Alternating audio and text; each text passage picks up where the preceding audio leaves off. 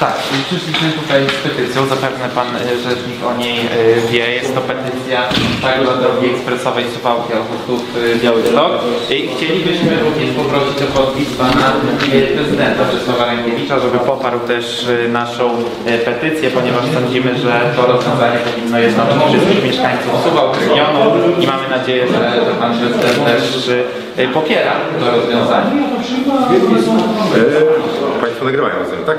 Oczywiście. E, Pan prezydent jak najbardziej popiera każde rozwiązanie i każde działanie, które e, przyczyni nas do tego i zbliży nas do tego, żeby droga ekspresowa z Suwok e, do Białegostoku przez Augustów powstała. Zresztą jak dobrze e, Państwo dziennikarze wiedzą, e, Pan prezydent również wspólnie z samorządowcami mm, tutaj z północno-wschodniej części Polski e, podsiążą takie kroki, takie przedsięwzięcia, żeby e, ta droga jednak powstała.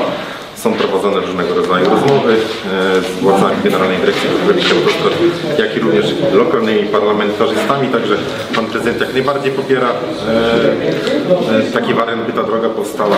Natomiast jeżeli chodzi o podpisanie tego w tym momencie, to pan prezydent niestety nie może, bo ma spotkanie. Także na przyszłość prosiłbym, żeby e, przedzwonić, powiedzieć, że chcą Państwo się spotkać, na pewno nie będzie problemu, natomiast w tym momencie no nie może po prostu tutaj?